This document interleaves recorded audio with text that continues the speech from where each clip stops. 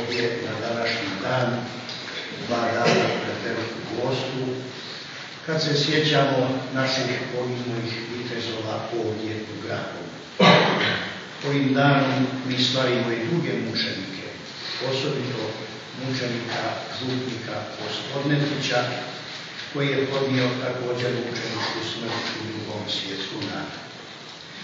Ova imena na ovim crnim pločama ispisana, to su oni koji su živote svoje dali, da bismo mi danas ovdje u slobodi i miru mogli iskazati čast njima i slaviti Boga koji nas je stvorio i odkupio.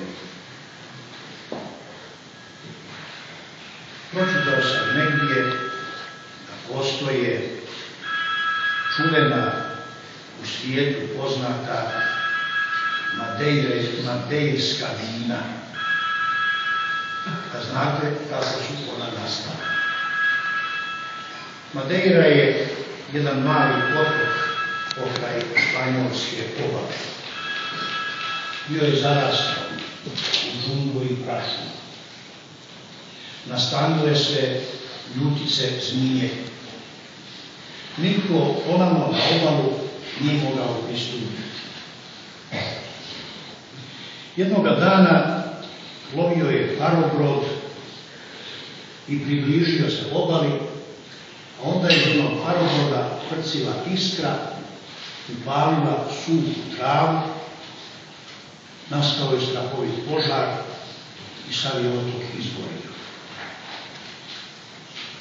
A onda su izginule tu i ljutice zmije, izgorila prašuma, ostalo plodno tlo, pa su pristupili ljudi da obrađuju to plodno tlo, zasadili vinograde, oni se nastanili i danas imamo svjetska čuvena poznata vina sa otoka Madeire. Domovinski rat bio je upravo vođen pod tom krilaticom spaljena zemlja. I doista svi oni koji su bili u to vrijeme u ratu vidjeli su tu spaljenu zemlju. I ja sam se toga nagledao sa užasom i jezom. Nestala su čitava naša hrvatska katolička sela. I danas krši ovo kamenje od Livna prema Grahovu u ovom selu Koritima koje je izgorjelo prije 70 godina. Spaljena zemlja. Međutim, mi, braćo i sestre, živimo nakon toga što je ta zemlja spaljena. Trebalo je na to spaljeno tlo unijeti plemenitost, dobrote, ljubav, milosrđa, praštanja, saditi tu plemenitu lozu koja će rađati ovim plemenitim i slatkim plodovima na temelju kojih se može graditi novi život, nova sredina, novi suživot. Sjećam se kad sam iz Mrković grada morao biti preseljen silom engleskih trupa koje su tada ondje bile i zajedno s vjernicima došao u Lamoć, onda sam priželjkivao ovako nešto.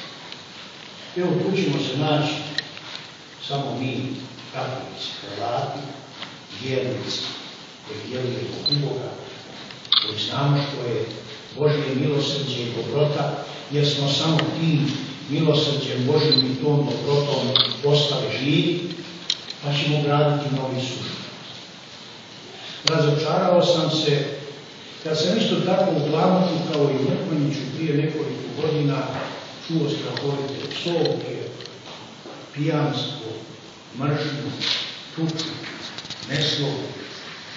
Ono što bismo izrazili na ovom otoku Madeiri, onim ljuticama, zmijama, one su se i tu namoronile, i tu dijelom, i tu grizali ljudsku dušu, ljudsku savjest, vrijeđaju Boga. Čekajući vas ovdje dok ste se održali na granici, gledamo u crkvu novu, prekrasno uređenu, prije koliko godina je posvećena, deseta godina.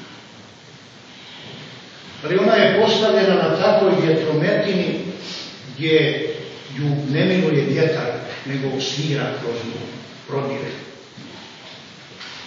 Gledam kroz prozore, pomalo gdje je pukla malo izolacija izvana, ulazi vlada, oštećuje zidove, mora se vidjeti na takvim jednim obježima. Gdje je malo napuklo, zakrpati i zavijeti. Gdje je malo mali otvor, buraće proširiti. Evo to su, braćo i sestre, slike napasti djavolske koje nadiru, nasrću na ljudsku dušu, koja je najveća vrednota koju je Bog stvorio u čitavu svetu. Zato ljudsku dušu Sin Boži je raspet na križu. Dao svoj život. Dao probosti svoje srce. Toliko je vrijedna ljudska duša. Đavolske spletke, svijet koji služi djavu, ljudi koji su zaboravili na Boga, nasrću naprosto na ljudsku dušu, na ljudsku obitelj, na sve one vrednote koje su pred Bogom i u Božjim očima istinske i prave vrednote. Kada su mladići kojih se danas sjećamo pod ovom svetom misom, pošli sa oduševljenjem da izdrže i doguraju do kraja ono što je trebalo osloboditi narod u ovim krajevima, onda nisu razmišljali o tome kako će im biti poslije rada. Nego su doista od sebe sve dali da bi pobjedili zlo, da bi se suprotstavili đavu i njegovim suradnicima, da bi pobjedili neprijatelja i da bi oslobodili svoje prijatelje i sebe same. To je žrtva koju su podnijeli ne kalkulirajući, ne računajući ni na što, nego da dođu do cilja. I hvala dragom Bogu da je bilo takvih ljudi koji su nesebično išli, nezaustavljivo išli, dok nisu došli do svog cilja, neki do smrti, prolijevanja krvi, a neki do slobode i one radosti koja je zavladala nakon završetka rata.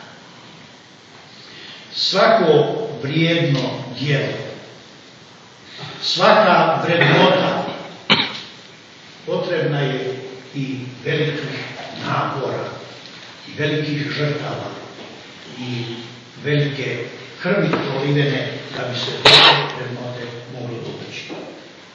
Zato je naša dužnost i pozivam vas na to, braćo i sestre, vas rodbinu poginulih branitelja, vas suborce poginulih branitelja. Idimo i dalje istim smjerom, ne skrećući ni lijevo ni desno, nego istim smjerom postavljati ljudsku slobodu, boriti se za dobrotu, za ljubav, za praštanje, za vrednote koje su istinske i prave vrednote u Božim očima, ne vrednote koje svijet nudi i za koje svijet želi istaknuti ih kao vrednote, a one razaraju ono što je pred Bogom istinska i prava vrednota. Molimo stoga i pod ovom svetom misom, kad molimo za branitelje, za poginule, za ranjene, za njihove obitelji, kad molimo za svakoga od nas, molimo da doista ustrajemo na kojem su i kojim su kročili i išli oni pred nama kojima je tih dana ili tih godina završio životni tijel. Neka njima dadne vječni pokoj, a nama sve mogući Bog neka dadne snagu, odlučnost i volju da i dalje se borimo za vrednote dobrote, ljubavi, pravde, istine za, do- za vrednote praštanja, za vrednote zajedničkog života ovdje na zemlji, kako bismo mogli nakon ovog života prijeći svi u sretnu vječnost.